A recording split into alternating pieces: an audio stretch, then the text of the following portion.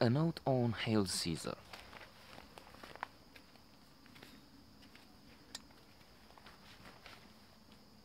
A comedy from the Coen brothers, uh, but alas, not uh, one of their uh, magnificent motion pictures.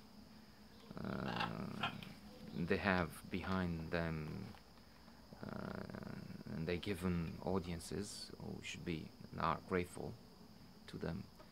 Uh, the Big Lebowski, Oh Brother, Where Art Thou? Burn After Reading would would be better than this one. Uh, Fargo, of course, and mm, No Country for Old Men.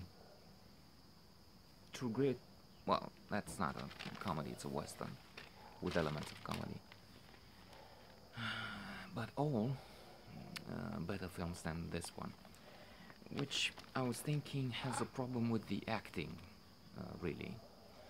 Uh, I'm about to finish uh, Who the Hell Is in It by Peter Bogdanovich.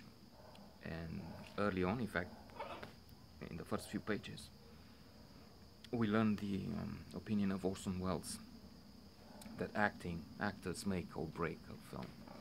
And indeed, it might be the case here, even if uh, the actor in the leading role, George Brolin, George Brolin, I think, is is, is very good. He's he's doing his uh, job almost perfectly. But some of the others, I'm thinking um, Scarlett Johansson, uh, uh, an actress that I appreciate, I like generally. I think she's over the top here. The intentions are good, but then hell is played with good intentions, Shakespeare. Um, and the result is, um, um, I think, irritating. There's also uh, Tilda Swinton, you know, who's, who's, who's portraying two sisters, uh, twin sisters, both uh, journalists, hating each other. Uh, I guess that means they're not identical twins. Identical twins have been studied by medicine, psychology, and they tend to share um, genes.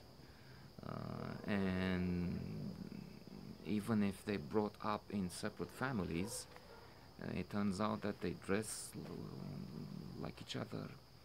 They have the same favorite colors, foods, and so on. So um, uh, here it's a, question of uh, opposites, really. Thora and Thessaly Thacker.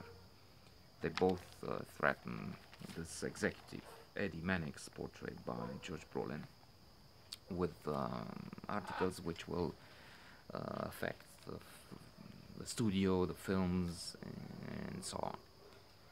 Uh, but um, I, I, I thought it's excessive. Maybe the directors, the Coen brothers, uh, Ethan and Joel made a mistake by asking the actors to overplay the hand so that it would be ridiculous, the result would be ridiculous and therefore funny. I, I don't know, maybe they are, it's just an opinion. It didn't work for me. I may be There are, though, some scenes which I liked. Uh, for instance, they're, they're preparing a religious themed movie. And um, so the executive, mm, Eddie Mannix, is talking with four religious uh, spiritual leaders um, a Catholic, uh, a Jewish man, a rabbi, I guess, um, and um, an Orthodox, um, Eastern Orthodox uh, leader. The fourth, I think, was uh, Baptist or something. It's another denomination, but I'm, I, I, if I knew it, I, I forgot which. Anyway, they have um, arguments and trade insults. Uh, uh, what was the year? 1053. Uh, makes one think of the big separation between, uh, at that point, the two major religions.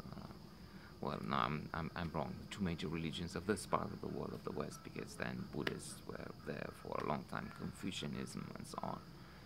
Uh, but in, in, in this part of the world, the, that was a big uh, breakup between the Western, today Catholic religion, which itself split, of course, into uh, various denominations, um, Luther, Prote- Protestantism, and so on.